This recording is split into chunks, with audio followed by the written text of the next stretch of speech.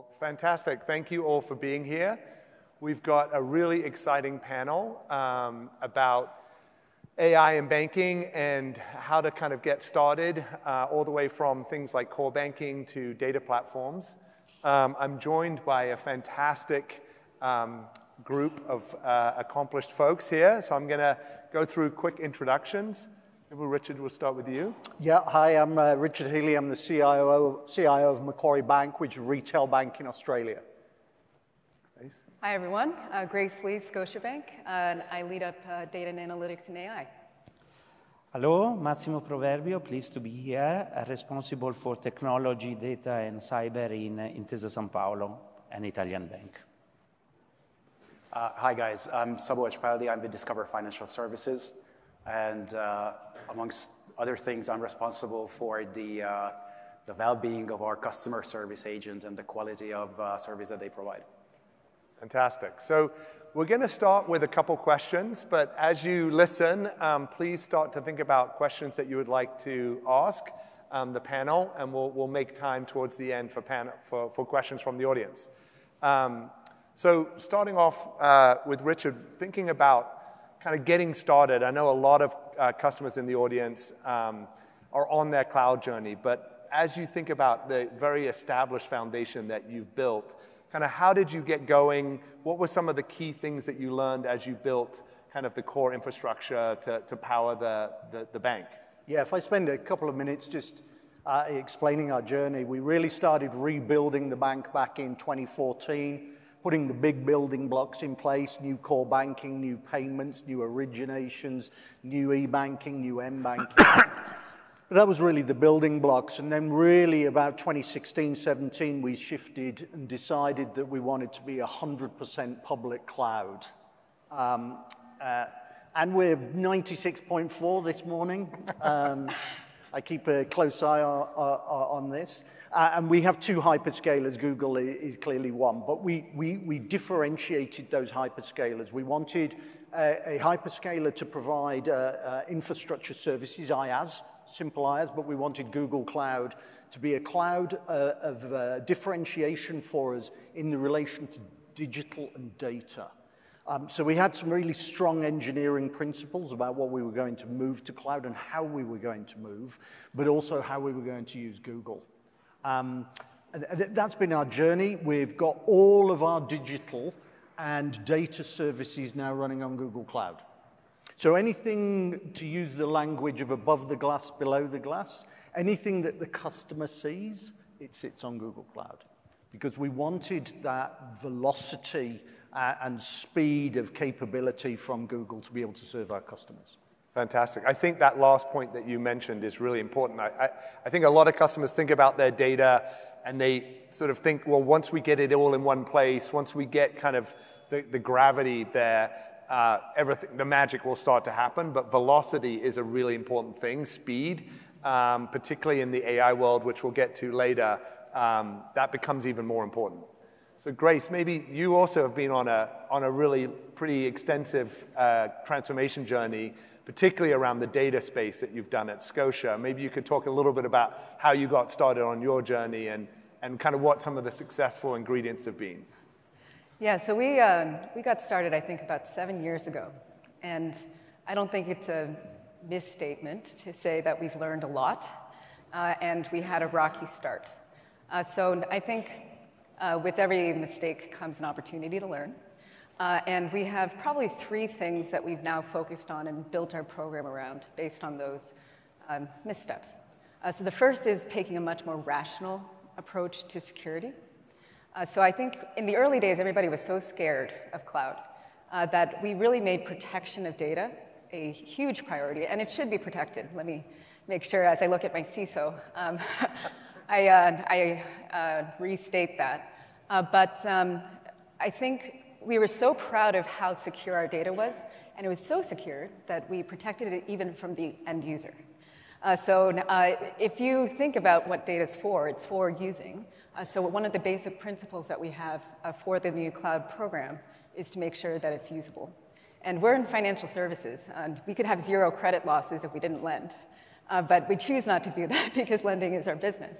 And, and similarly, we need to accept a certain level of risk um, in, in our data and in, in our technology, and we are. Um, and we're in the business of risk management, not risk prevention. Um, I would say then, extending from that, uh, you know, we, we did the thing that every tech project does, which is if you build it, they will come. And uh, I think many people in the bank didn't even know that we were going to cloud. Uh, our technology people did, but nobody else did. Uh, so now we're spending a lot of time engaging the business. Um, and it's made a real difference. It's, it's harder, uh, but it's made a real difference. And the thing that I think is really great linking one and two is that because we've taken a much more rational approach to security, we have PII enabled in the cloud. We spent a lot of time on that foundation. And I think that the partnership that my CISO and I have is very important because PII is everywhere. And if you want to serve your customer, you have to use PII. Personalization comes from PII. So without that, all this stuff on cloud is just a storage uh, facility, not a real area to serve your customers and your employees. Um, and then the last thing is we were so scared to move at pace that we kept on POCing everything. And it's really difficult um, to justify your proof and if the proof doesn't lead to anything. Uh, so now uh, we, uh, we're very proud of the fact that we've announced a very large extension of our partnership with Google this Monday. And it was actually announced by our CEO at our AGM on Tuesday. My, one of my board members is actually here uh, to support uh, this initiative as well. It is something that really we have put, we've gone all in. Uh, we have sufficient proof that this works, proof of cloud, POC, um, and now we're ready to move at pace. We have a migration factory set up for applications and data, and we can finally commit to something that we've been talking about for a long time. That's fantastic. Yeah, a lot of lessons there. Massimo, maybe you could talk about kind of the, the, the, core banking journey that you've been on and some of the work that you've been doing around that foundational piece. Yeah. We started off uh, uh, creating, uh, uh let's say, the prerequisite to create a core banking solution. And uh, it was 2020, uh, end of 2020, when we signed an agreement with uh, Google um, to, to create two cloud nodes in Italy. The foundation was uh, there, and we needed to establish them because we have a data center in Turin. And uh, for something that uh, many of you know, latency, if you want to rebuild your uh, legacy core banking, you need uh, your legacy um, data center to be close to the cloud node. So we launched a tender. Um, everybody was participating to the tender. And at the end, uh, we choose uh, Google. And I would say it was price, it was understanding of our requirement as a systemic banking needs. So we have in Europe, we have regulatory, we need cyber, we need uh, compliance and so on. But especially it was also a, a trust relation that was established uh, with Google, with Thomas Kurian and so on. I would say that uh, somehow in this case, trust is all you need somehow. Um, the second step was then to um, understand how to uh, have a good business case to do the replatform once you create the foundation. And uh, therefore, we, we talked with uh, our CEO, we had a long discussion, and at the end, uh, we established that uh, we wanted to create the foundation for a new bank, a new bank that has a different operating model and that can operate in a flexible way through channels. Uh, you know that building a business case to redo the core banking is not easy, and we, uh, not easily, we, we build it at the end. Uh, the third uh, step, uh, therefore, was uh, create a strong liaison with the business, the commercial bank business. So we launched a, a bank, a new startup bank, fully digital, that is called Isybank. The underlying technology, we, we call it Isytech. So that's yeah. Uh, the similarity. Uh, the Isybank is, was launched in one year after the launch of the project. It's fully functioning. And uh, it's working, I would say, as uh, uh, with a solution that uh, covers all the everyday banking need. It covers, let's say, the sum up of different fintech that you can find in the market. So we have a, a full offering and we are expanding it. Uh, the next step will be to bring all this technology to the uh, big bank, the legacy bank, meaning we are the fourth largest bank in terms of market cap in Europe, and we are the largest in Italy. Therefore, it's important for us uh, uh, to have a reliable partner and uh, after the journey that we should complete by 2025, so we have one year and a half to go, we will have a full core banking platform built on with new principle, meaning that um, all the channels will be an omni-channel solution. You can use the branch or other solution in a flexible way. Uh, it will enable a very different cost to income, and uh, it will manage a, a, catalog of products that is digital, meaning that uh, if you want to create a new bank, you have to create it for the digital space. And the key point is how you deliver your product to the customer so that they can be uh, used both uh, through the app, through the internet banking, call center, or branches in a seamless way, all the same product. And we believe that through this we will have a very uh, important step in our efficiency and profitability. Yeah, that flexibility is, is really important as you think about the future and where things are going. Yeah. But no trivial feat to do what you're doing. Um, do you want to talk a little bit about kind of first? We're really excited about the, the news release, the, the press release that we had we did yesterday, uh, jointly with Discover um, and yourself. But do you want to talk a little bit about how you chose Google Cloud and kind of what the decision sure. criteria was that you went through? Yeah, absolutely. So, uh, uh, Zac, we had uh, a long partnership with Google, solving all sorts of uh, customer problems uh, way back. Uh, with Google Cloud particularly, uh, we started in 2017 when we set out to build the Discover Digital Assistant. And uh, you know that's something that runs on Google Dialogflow. And uh, we worked with the Google teams uh, to, to build you know, to build that capability up that at that time was really unique and solved a very specific customer need when you really just wanted to get things done, banking done through messaging. So we had a good track record with your product teams. And when about a year ago, generative AI started to surface, that was sort of the context on, well, let's see what we can use potentially this one for and how we could move forward from here. But that's how the relationship started, and that's how we started up with Google Cloud. And that's how we got to the use cases that we had. Uh, thank you. I think uh, a very good uh, use case and a very good uh, uh, release about just yesterday. Fantastic. Well, we're going to learn more about that in a moment. Um, so maybe back over here to Richard. When you think now that you've done all this foundational work, you've got this incredible digital bank and all of the kind of data that you now run in a, 97.5, is that what you said? 96.4. 96.4, okay, sorry. Uh, percent cloud. Um, you know, what does that enable you to do? And how do you think about AI and what you're doing in that space um, now that you've got a lot of these foundational pieces in yeah, place? Yeah, and, and look, I, I, think everybody in, in, in this room was probably doing some of the things below the glass, like GitHub Copilot and all those code assistants. So I'm not going to talk about that. I'm going to talk about the things that we're attempting to do of the glass, which uh, therefore are impacting our customers directly.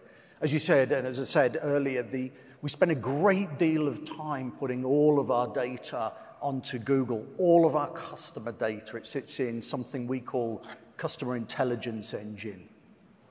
Um, but that asset then allows us to, to build on that for customers. So we've done a couple of things recently. So cash flow prediction. So clearly, if a, if, if a customer's got sufficient transactional volume with us, we can quite clearly give them a cash flow prediction uh, using AI. Uh, the second thing that we've launched quite recently is variable rate review. Um, so any mortgage customer in Australia who's a customer of Macquarie can ask using the mobile application um, for a rate review on their mortgage to see if the, their recent transactional history has therefore improved their overall uh, rating and therefore they can get a different uh, rating on their mortgage. So those things we're beginning to build. And, and by putting all of our data in the customer intelligence engine, it allows us to move quite quickly on that. Um, I've got my CTO in the crowd. We were talking um, last night as well about um, uh, the, uh, remember when you used to receive a statement and it was just a list of transactions, no context, nothing interesting for you. But the humble transaction has become really the, the, the, core of personalization for a customer. So with Customer Intelligence Engine, clearly we, we allow customers to add a hashtag, uh, they can add photos, they can add a document, they can add a receipt. All of that is then available to them when they're looking at their transactional history. So that humble transaction has now become something that's got personalization and context. Um, so yeah, that's what we, we're really focused on now. We're a digital-only uh, bank. Um, we have no branch infrastructure, and therefore our customer service and the digital services that we can offer our customers is, is our critical differentiation uh, in a very competitive market. Uh, to come back to Grace's point as well, but we do all of this as well with the human in the loop, right? It's really important as we productionize uh, these AI examples that we've managed risk appropriately. This is our business, of course. Trust is our business as a bank, and therefore we keep that uh, very much close. But yeah, I think they're the yeah. good examples of things above the glass, the things that customers can really touch and feel. Yeah. Well, it's, it's tax season here in the US, so having all of your transactions at your fingertips and being able to get to receipts quickly and all of that is That's super the, valuable. The number one hashtag is hashtag tax. because if you hashtag your transactions, then you can do a natural language search on, hash, on that hashtag and you can do your tax return in seconds. So I need, I need that. Um, that's fantastic. And the regulatory piece, I think, you know, we'll hear that as we go, but the, you know, as we all know in financial services, the bar is a lot higher around explainability, model governance, all of those things. So maybe Grace, you could kind of talk a little bit about your journey now around the stuff you're doing with this fantastic data platform that you've built, some of the AI work that you're doing, some of the use cases that you've been able to kind of implement. Yeah, so I mean, we've been doing AI a long time. Uh, as I say often, and I apologize for repeating myself, but AI has been around since 1956. Uh, and we are an industry that relies on data. Uh, so we have hundreds of models already deployed and productionalized across the bank. Um, what, is, what is really almost criminal is how much of our data scientist time we waste. Uh, so the real benefit to me for having all of this data in the cloud is that we can take these talented people and make them so much more productive and fulfilled because they're not spending 80% of their time chasing down data. Uh, they can do some really cool new stuff because PII is enabled in the cloud, and so they can take a bunch of unstructured data, which typically can contain PII, so we've been relatively cautious now. We can enable them to use a lot of this data to do many of the things that Richard mentioned uh, to serve our customers and make sure that uh, you know, we are delivering on the promise of uh, personalized services. Um, but what's really interesting about Gen AI, and I, it's been exhausting as an analytics person or an AI person uh, this last year uh, because there's not one conversation. If you have a group of five or more people, you will talk about Gen AI and they will talk about how it would better cook your burger uh, or something like that. Uh, but um, what's been really cool for me in Gen AI, aside from, you know, it does have some really true good benefits, is that it's actually solved one of the core problems that we have in data, which is business ownership of data quality. Anybody who is a data professional in this room knows how challenging that is to get them to care, to own it. Um, and GenAI, because it is so easy for people to access, it's very accessible as a technology. It has a GUI. Children are using it. Um, it means that people are excited. You don't have to have a PhD to participate in AI. And so an, a use case that we did recently uh, was a very typical one. Put GenAI on top of your knowledge base uh, and have it uh, retrieve uh, much more contextual answers for our contact center agents. Our, our quality answer, I think, was at 33% in our first go round. Um, it is now at around 96. And the reason why that happened is not because AI got better, it's because the contact center team actually went into their knowledge base, added a context to acronyms, uh, updated titles, updated content, got rid of old content, removed incorrect content. And they did it all on their own. Very, very excited to do it too. This would have been a $10 million, 12 month consulting engagement. To any consultants in the room, we're really sorry that we, we took your business. Uh, but uh, it's, they, they did it themselves, they were excited to do it. Uh, they did it within months. Uh, so that culture change of owning data quality and participating in analytics is massively, massively important. And I think that's going to be the difference. It's not that the AI is that much better, even if it is. It's that the people participating in it and activating it for the business are, are stepping up and really, really enjoying doing it. Um, and then the last thing I'll say is that AI, I said 100 or more, actually hundreds of models deployed. It, it takes 18 months to build each one of those. Uh, and they're not particularly scalable. They're usually for thousands of customers, not millions. And uh, they don't really stitch together. So there's no flywheel uh, to each one of those. They're points of light or stars in the system, uh, but we haven't connected it into a constellation yet.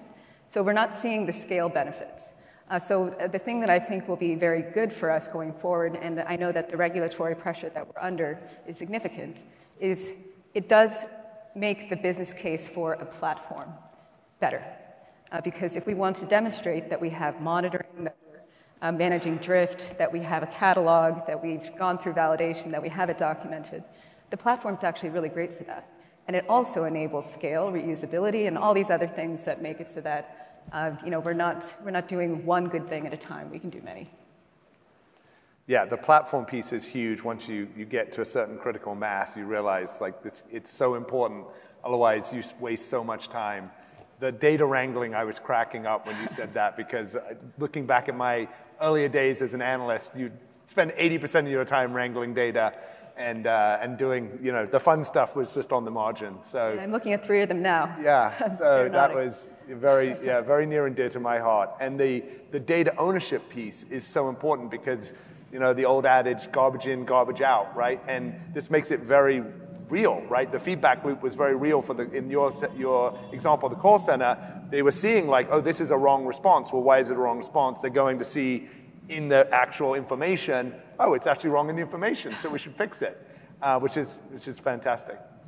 Massimo, maybe you could talk a little bit about how you're thinking about AI and the, the journey you're on there. Yeah. So uh, we started the journey a couple of years ago, even more. Uh, let's say, with uh, till two years ago, we were basically exploiting AI. Uh, recently, basically, we uh, are running AI at scale. We have an objective by 2025 to produce uh, 500 million bottom line benefit in euros, and we have a structured process to, let's say, prioritize the use cases. Uh, we will have, uh, let's say, 25% uh, that coming from cost reduction, 25 from risk reduction, and 50% from uh, revenue increase. That's more or less the, uh, the, the, split uh, of the revenue. We're running many use cases, um, conversational platform, let's say, on building efficiency, on liquidity forecasting, and so forth. Um, to ensure that this program doesn't derail, however, we created a principle and infrastructure to guide this, uh, this, uh, this journey that we are doing. And uh, uh because uh, this was done before the AI Act, for the ones that are in Europe, they know what, what I'm talking about. and basically, we created four principles. Each AI use case should have explainability, fairness, human in the loop and the quality uh, uh, of data. Um, I agree with uh, what Grace was saying, uh, basically that uh, quality of data is the key point. and through this, uh, through this program and showing basically the benefit that you can have out of the, the AI program, we ensure also commitment from the user in terms of data governance, data quality, and of course, the work is not done. We are progressing, but in uh, the right direction. All this uh, is uh, considering GenAI aside. GenAI will come on top of this, And uh, as uh, basically everybody, we are doing many use cases, are not just pilot, are also in production. Uh, but uh, I recall what uh, Thomas Kurian said a few days ago, yesterday, I guess, uh, and basically that you have to prepare for that. You have to prepare because the uh, impact of uh, Gen AI on the process of the bank can be important. You have to rethink or your skill base, your process, and so on. And therefore, we are not yet scaling it because we have to ensure that uh, um, we do it properly, considering all the possible uh, consequences of this. Uh, then, of course, uh, things like call center and so on are done, are there, and we are progressing. but we believe that uh, Gen AI can have a, a, much wider implication on the bank's operation. Mm. Yeah, I definitely think that the it's early days in, in the sort of regulated space, but um, it's huge potential that you're that we're all recognizing. So maybe we could, you know, also we could get into your specific some of the use cases that you have put into production and and love to learn a little bit more about how that's working and what some of the learnings have been as you've done that process. Sure, sure. So, uh, you know, Zac, one of the uh, just starting with the brand, one of the key pillars of the Discover brand is the award-winning customer service, customer experience. It's uh, great customer experience leads to loyalty of your customers. So as, as, as specifically generative AI emerged, that was one of the use cases that we started to look at. There are plenty of uh, subtle issues with customer experience. There are plenty of subtleties that could be done significantly better. And how do we do that? So actually, the beginning of the journey is very similar to Grace, what you said, and, and Massimo, what you described. Uh, with, a, with, a, with a regulated industry, specifically with banks, uh, we worked on the organization first. So we built, uh, we call it a generative AI console. Uh, essentially, this is to build an organizational framework to evaluate risk. So um, it, uh, it has uh, participants from legal, compliance, information security, analytics, engineering, and the business lines.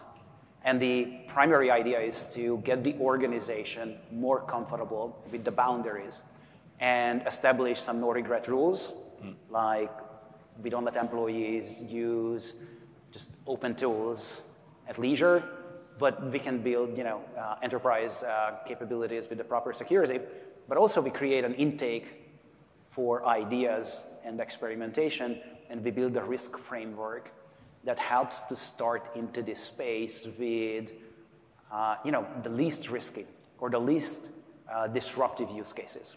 And those are the ones that we, we put into production. So some of the specifics. So if you guys think about uh, what digital banking did to customer service, a lot of great things. Everything is at your fingertip. It's in the app. You know, it's, it's, in, it's in, in your web browser account center. What it did for customer service, though, for agents, for the humans, it made their job significantly more difficult. You just don't call anymore, or most of us don't call anymore if you want to know simply your balance or you want to know your payment due date. That's at your fingertip. Uh, what's been happening is really only the difficult questions end up with your customer service agents. And you know, your customer service agents are are, are bearing the complexity of the industry on themselves. And the way it manifests, just very practically, is that you know, when you decide to call and you want to have a human to help you, the agent actually has to go through a lot of material. So agents have procedures that they have to follow, specific procedures on how to execute any particular step. And as you know, as the conversations get really complex, the primary challenge that we found that's in place of an awesome customer experience is simply to find the right procedure.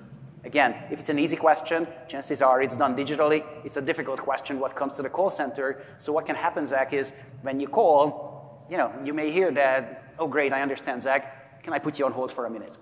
And that's the least thing that you want to hear. And it's just very difficult because what happens in the background, the agent is going to start to search for documents. In a traditional search, they find documents, those are many pages long, they have multiple documents, and they don't get to the information. So, generative AI with summarization provides a very intriguing potential solution here. And that's what we, we sat down with the, uh, the Google product teams as well to see how could we put this in place and how could we evaluate this as a use case. And it's, it's, it's a fascinating journey. The, uh, it's very different from your usual platform development because you know, we are Google Cloud customers, so Vertex AI is integrated. Gemini is integrated into Vertex. So the actual coding part, the traditional engineering part, is measured in weeks. It's, it's a very, very quick process. On the other hand, to tune the models to the point that they can actually summarize the information that's relevant to your procedures, that is really the heavy lifting. And that took quite a bit of an experimentation. We go skill group by skill group. So we take procedures that are similar. Uh, really, the, uh, the most important people that we find now is the knowledge workers. It's expert agents, the technical writers who write the documents themselves. They are the ones to help us uh, run cycles to tune the answers that we put in front of the agents. And, you know, it, um, it helps with the agent adoptions. The, the agents who get the answers, they get a thumbs up, thumbs down uh, for basic feedback, and they give qualitative feedback on which are those questions where the answers are getting higher quality and which are those where it's lower, so human in the loop evaluation of the output. Uh, we did a lot of, uh, the team actually did a great job, both the, uh, the Discover and the Google team, to build automated tools to rely on our core domain knowledge with golden answers and what the AI can produce and how we approximate what is an awesome answer versus what is a not good answer. So it's an, it's an, it's an ongoing uh, refinement cycle that actually has been very practical. Uh, let me give you just maybe one other one because the, the actual intro use case was even simpler than this. You know, another solution could have been, well, if the agents have to find all of those procedures and then those are many pages long and then they have to read it, why don't we just write the procedures so they would be easier to follow? And if you are thinking about that, maybe Gen AI could be a good tool for that. We had the same thought ourselves. So, so the first use case that we really tried was, okay, can we give generative AI to assist the technical writers to rewrite the procedures? Because in those use cases, we have the basic framework uh, in place that we don't change. So the technical writer uses generative AI. It is really helpful. But then once you are done and created the procedure, it goes through the same legal review by a human attorney, and then it goes through the same uh, compliance review, human compliance officer, as a traditional procedure would have gone through that so no assistance from generative AI. So, so we started to pull these use cases on top of each other. And again, the generative, the AI console is, is, is super, super valuable because they help to create a risk scaling for us. So we can go after very specific customer problems and we can try to find solutions that are measurable and measurably change the customer outcome. So uh, this, is, this is what we, uh, what we put into the, uh, to, the, to the joint article that we released, that uh, in this way, we actually could put this in production with actual agents. And what the team focused on uh, primarily is the amount of time that it takes for an agent to get to the information. Uh, as the team usually points it out, the agent's idea never is to find a document, they want to find a solution the summary. So long story short, what we found is that with the new platform, uh, we cut the search time by about 70%. And that's with real agents on real questions that they face with customers. And, you know, 70% is 70%. Uh, this is a better context. The original one, the search time usually was measured in minutes. On a phone call, minutes, or forever. That's unbearably long. The new solution is measured in seconds. So the, the, the agent can stay in the conversation flow. They can provide answer. You know, we use RAG, so the, the data is directly tuned with our documents. There is direct link built to the document. So as the agent gets the summary, they have the direct link to the referencing document, by the way, which is a much more accurate search than the historical one was. So the agent can drop into the relevant document. In fact, it can find the right spot within the document just by clicking. So it's, it's, a, it's a better tool. Now, again, uh, scaling is an effort. You go skill by skill, but it's, uh, it's, a, it's, a, it's a skill worker kind of challenge as compared to an engineering challenge. And, and you know, scaling the risk framework and staying within your acceptable risk boundaries. But we do see uh, a good number of use cases that we lined up. We had the console scale or, or, or rate, and now we are you know, working through, and some of it we are moving into production. That's fantastic. And I think um, something, a, a, theme that came up throughout is this engaging across different groups. So bringing the risk teams in, bringing the business in, obviously technology at the table. Like having that partnership from the get-go is really, really important. Um, so that that's wonderful to hear. And really great example of actually getting the core reps to be the one sort of rating how effective the answers are and, and, and reinforcing the learning that way, which is, is fantastic to hear.